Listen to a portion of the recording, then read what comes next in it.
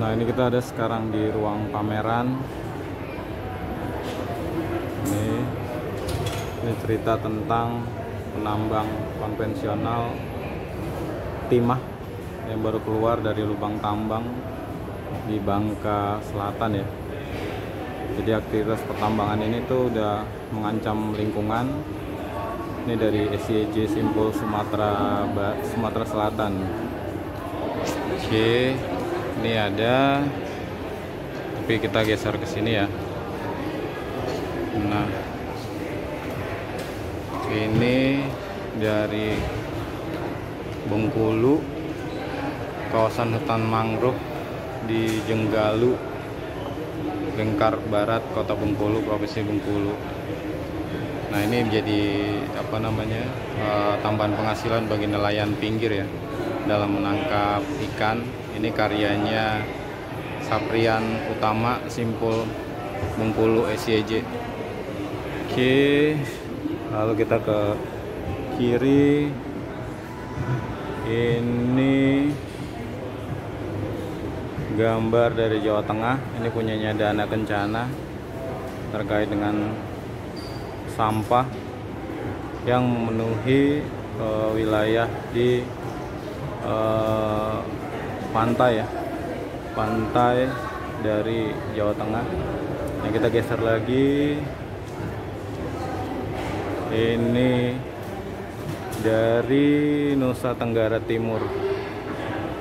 Ini gambarnya juga masih terkait sampah. Ini ya terkait dengan eh, pemulung Feby Baunsele 32 tahun bersama anak bungsunya itu menjadi salah satu warga yang menempati eh, kawasan atau TPA ya tempat pemrosesan akhir sampah di Alak itu di kota Kupang. Lalu kita geser ke sini. Oke, tapi sebelumnya kita ke sini dulu ya. Ini ada diskusi kelompok diskusi. Tapi kita masuk ke sini ya. Nah ini abrasi ceritanya tentang abrasi pantai di pantai Mapak kota Mataram eh, Nusa Tenggara Barat. Ini dari SCJ Simpul NTB Oke, lalu ini juga ada. Ini dari Halmahera. Ini terkait dengan Halmahera yang dikelilingi oleh kawasan tambang ya ini dari SCJ Simpul Maluku Utara. Ini seorang nelayan di Teluk Weda Maluku Utara. Dengan latar belakang itu tambang nikel. Oke kita geser. Nah ini tambang batu bara. Ini dari Sumatera Selatan. Nah ini terkait dengan aktivitas tambang batu bara di Pulau Panggung Kecamatan Tanjung Agung Muara Enim ya kabupatennya Provinsi Sumatera Selatan. Nah ini dari SCJ Sumatera Selatan. Oke kita geser lagi. Sorry mas. Nah oke ini dari burung Indonesia. Ini adanya di Sulawesi Selatan Pulau Langke dan Pulau Langjukang. Jadi ini contoh terkait dengan konservasi alam dan penguatan ekonomi bisa berjalan beriringan. Ini nih fotonya ya. Jadi tempat ini indah banget. Jadi kawasan ekowisata sih. Oke kita geser ya ke terkait dengan tambang eh. Nah ini yang salah satu foto yang menarik buat saya ini dibuat dari Riza Salman dari SCJ Sulawesi Tenggara Sulawesi Tengah ya Tenggara dengan Tengah. Ini terkait dengan buruh industri nikel yang bekerja di IMIP Indonesia Morowali Industrial Park. Nah ini kondisinya bayangin tuh. Jadi mereka pulang kerja tapi cerobong asapnya banyak banget itu mengepul keluarkan asap. Oke kita geser lagi. Ini dari Sulawesi Tengah. Nah ini terkait dengan uh, gajah ya. Gajah yang mati. Ini gajah mati di ini gajah Sumatera. Dua itu. Ada dua. Ini di Aceh di desa Semena Semena Aceh kecamatan Rantau Perla Aceh Timur. Nah ini dibuat sama SCJ Simpul Aceh. Nih. Ini gajahnya mati satu lagi yang ini. Ini miris sih. Ini teman-teman SCJ semua ya karyanya. Oke lalu kita masuk lagi. Nah ini foto terkait dengan kebakaran lahan gambut adanya di Jambi jadi ini lahan gambut yang terbakar di Kabupaten Muara Jambi Provinsi Jambi.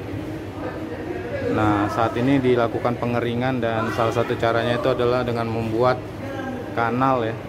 Jadi ada kanal tuh bisa kita lihat dari ujung sana itu yang dari atas tuh dari atas ini ada kanal. Tujuannya untuk uh, biar ke daerah ini tuh nggak mudah terbakar lah. Gitu. Oke, kita geser lagi Nah ini juga salah satu foto yang sangat dramatis ya. Ini dibuat sama Agus Susanto, SCJ Lampung. Ini terkait dengan tewasnya gajah jinak di Waikambas ya. Jadi itu di Pusat Konservasi Gajah PKG di Waikambas tuh ternyata ditemukan ada gajah yang mati dan uh, itu petugas sedang mengambil sampel-sampel organ untuk dibawa ke laboratorium untuk diperiksa ya. Untuk meneliti sebenarnya tewasnya gajah ini karena apa gitu. Oke sekarang kita lanjut lagi. Nah ini ke sini aja ya. Ini foto terkait dengan kawasan uh, bekas tambang emas. Ini adanya di Gorontalo tepatnya di Sungai Batu Dulanga Buntulia Barat Pahuwanto Gorontalo. Nah ini sisa-sisa aktivitas pertambangan ya tambangan emas yang ditinggalkan dan itu akan menyisakan lubang-lubang bekas yang menganga dan ya itu nggak diapa-apain dibiarin aja tapi justru berbahaya ya bagi lingkungan juga buat masyarakat yang beraktivitas di kawasan ini. Ini dibuat sama Julkifli Mangkau dari SCJ Gorontalo. Lalu, nah ini kita geser dikit. Ini ada dari Kalimantan Barat. Ini tentang perburuan uh, hiu pari ya. Jadi di Kabupaten Kuburaya di Kalimantan Barat. Nah ini hasil tangkapan berupa ikan hiu dan pari. Lihat tuh uh, sisik sisiknya udah pada copot ya. Jadi siripnya siripnya. Dan ini merupakan uh, perburuan yang sangat masif. Jadi di foto ini disebutkan bahwa pari gitar itu merupakan kelompok ikan bertulang rawan yang memiliki kerabatan dengan hiu. Jadi lebih condong mirip ke hiu ya. Dan salah satu kelompok ikan yang terancam punah saat ini.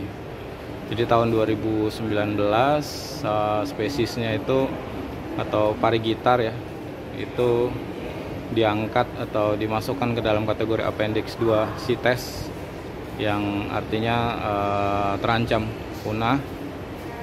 Dan ikan pari ini uh, ternyata banyak yang sudah tidak dilengkapi dengan sirip. Ini foto dari teman saya Arif dari SCJ Kalimantan Barat.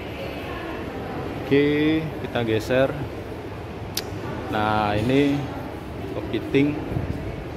Ini juga ah, ini dari foto dari teman-teman SCJ tapi eh, mengatasnamakan burung Indonesia ya ini salah satu kepiting bakau yang merupakan sumber penghasilan utama dari masyarakat Bakalan di Banggai.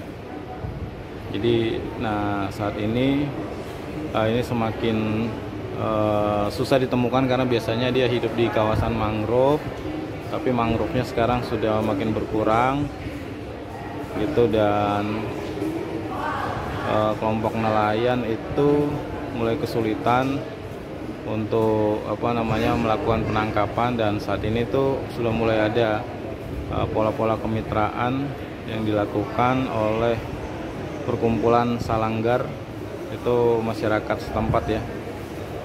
Uh, melalui program kemitraan Walesia 2 mereka kembali menanam mangrove untuk memulihkan ekosistem yang uh, mulai rusak sekaligus untuk menjaga sumber penghidupan gitu ya teman-teman.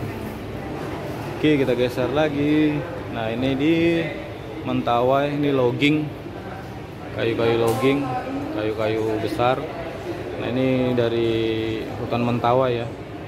Dan ini hasil tebangan dari ada PT nya PT Minas Pagai Lumbar di hutan alam Pulau Pagai Selatan Mentawai ini diambil pada tanggal 1 September 2023 ini difoto oleh teman saya Febrianti uh, SYJ Simpul Sumatera Barat. Oke.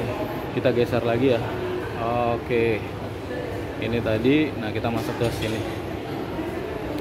Nah ini dari Lampung. Nah ini sampah sebenarnya mendulang rupiah di pantai sampah. Ini dibuat oleh Derry Nugraha SCJ Simpul Lampung. Intinya sih di foto ini ingin menceritakan bahwa sampah itu juga bisa bernilai ekonomi dan apa namanya menjadi sumber penghasilan lah. Kalau itu dimanfaatkan dengan benar oke kita geser. Nah ini salah satu foto yang cukup memukau menurut saya ini adalah foto terkait dengan lumbang tambang emas ya yang ada di Kalimantan Barat. Jadi di foto ini diceritakan ada sejumlah pekerja yang merupakan warga negara Cina kebanyakan melakukan penambangan emas di PT Sultan Rafi Mandiri atau SRM di Kabupaten Ketapang Padahal berdasarkan rilis Dirjen Minerba tahun 2024, aktivitas pertambangan emas di perusahaan tersebut itu sudah merugikan negara itu sebesar satu triliun rupiah. Ini dibuat oleh teman saya uh, Arif Nugroho SCJ Simpul Kalbar. Ini fotonya cukup bagus ya. Nih. Ini penambangan emas. Oke. Lalu kita geser lagi Nah, ini kabut asap nih kayaknya. Iya benar. Ini kabut asap di uh, Sumatera Selatan ya. Palembang tepatnya. Dan uh, terjadi pada tengah malam sampai dini hari. Ini kejadiannya pada tanggal 1 bulan Oktober 2023. Ini dibuat oleh uh, Mushaful Imam SYJ Simpul Sumatera Selatan jadi ini kemarin pada saat darurat kabut asap sih gitu. Oke. Lalu nah ini ada lagi. Ini foto terkait dengan ini pulau reklamasi ya. Reklamasi di Manado tepatnya. Nah ini kelihatan ada seorang nelayan tuh sedang memperbaiki perahunya di kawasan pantai utara kota Manado Sulawesi Utara dan pulau reklamasi ini menjadi apa uh, sangat cepat karena ini dulu sebenarnya kawasannya itu ada koral-koralnya tapi saat ini sudah tidak ada karena udah ditimbun ya. Jadi ini sebenarnya dulu daerah tempat tangkapan ikan buat warga sekitar. Dan reklamasi ini dilakukan oleh PT Manado Utara Perkasa atau MUP di lahan seluas 90 hektar. Dan saat ini terus menuai polemik di masyarakat Nah ini dibuat dari teman-teman SCJ Simpul Sulawesi oleh Michael Pontolondo. Nah ini dia kawasannya. Nah ini wilayah reklamasi ya. Gitu. Oke sekarang kita geser ke yang berikutnya. Nah ini juga cukup uh, mencengangkan fotonya terkait dengan orang hutan yang terpanggang ini ada uh, kejadian di lahan tepatnya di Kelurahan Belimbing Bontang Barat Kalimantan Timur. Nah ini foto dari Edwin Agustian SCEJ Simpul Kalimantan Timur ya. Ini kejadian tanggal 21 Februari 2016 hari Sabtu ketika terjadi uh, kebakaran lahan. Ternyata tiga orang hutan betina uh, ditemukan tewas terpanggang dan masih berusia ini sekitar tujuh bulan. Sangat uh, mengerikan. Oke kita lanjut lagi. Oh ya ini kosong. Oke kita lihat ya. Nah ini terkait dengan karhutla di Palangkaraya. Jadi uh, kebakaran hutan dan lahan uh, Satgas gabungan kebakaran hutan dan lahan Karhutla berupaya memadamkan api yang membakar hutan dan lahan di Kelurahan Patuk Katimpun Palangkaraya ya. Ini di Kalteng Kalimantan Tengah tanggal 29 bulan Agustus 2023 setahun lalu. Nah ini Badan Penanggulangan Bencana Daerah atau BPBD Kota Palangkaraya menyebut bahwa luas daerah yang terbakar itu mencapai puluhan hektar ya. Nah ini foto oleh Aulia Rahman, teman-teman SJJ dari Simpul Kalimantan Tengah. Gitu. Oke kita geser ke yang ini bagian yang terakhir. Nah ini juga cukup bagus ya. Ini terkait dengan PLTU Ombilin Kota Sawalunto Sumatera Barat. Ini dari PLTU Ombilin. Ini dibuat dari teman-teman SJJ Simpul Sumatera Barat ya Sumbar. Yose Hendra ini pembuatnya. Nah ini PLTU ini beroperasi sejak 1996 dan nyaris sepanjang hari itu udah menyemburkan uh, abu ya. Uh, das uh, es uh, debu apa batu bara. Uh, fly es kalau nggak salah fly es bottom es yang berdampak buruk atau mencemari lingkungan dan kondisi ini yang sehari-hari dirasakan oleh masyarakat di Ombilin, Sumatera Barat. Oke kita geser lagi. Oh ini udah nggak ada. Nah ini yang terakhir. Oke ini di Danau Tempe di Wajo uh, Sulawesi Selatan ya. Jadi ini cerita tentang uh, banjir. Jadi banjir yang terjadi di Danau Tempe uh, berakibat pada masyarakat yang akhirnya harus beraktivitas menggunakan perahu di tengah kepungan air di area itu atau di Kelurahan Lailo, Kecamatan Tempe, Kabupaten Wajo, Sulawesi Selatan ini pada uh, Senin tanggal 9 bulan 7 ya. Tahunnya tapi tidak dijelaskan. Ini dibuat oleh Darwin Fatir SCJ Simpul Sulawesi Selatan terkait dengan uh, banjir yang menggenangi kawasan uh, apa namanya kawasan persawahan sampai permukiman penduduk. Gitu ya teman-teman nah ini yang terakhir. Ini juga cukup fantastis gambarnya. Ini dari tampak dari udara ya. Dan ini bercerita terkait dengan pembukaan lahan tanpa izin. Bagaimana sebuah perkebunan sawit dibuat secara ilegal. Nah ini dikerjakan oleh PT Sawit Panen di Kecamatan Sultan Daulat Kota Subuh Salam Provinsi Aceh Nah, disebutkan bahwa sejak tahun 2022 sampai April 2024 kemarin PT SPT ini telah membuka lahan seluas 1.655 hektar secara ilegal dan 14 hektar di hutan lindung di kawasan hutan lindung. Jadi berdampak sangat masif ya terhadap lingkungan dengan terjadinya deforestasi sih. Ini dibuat oleh Junaidi dari SCJ Simpul Aceh. Dan itu dia tadi teman-teman. Uh, suasana di ruang pameran uh, Grand Press Community yang berlangsung pada hari Sabtu uh, 20 tanggal 22 ya 22 November 2024 semoga review terkait dengan foto-foto uh, pameran ini bisa memberi uh, kesan tentang pentingnya untuk menjaga agar lingkungan kita tetap uh, lestari. Oke teman-teman kita ketemu lagi di video-video selanjutnya ya. Thank you.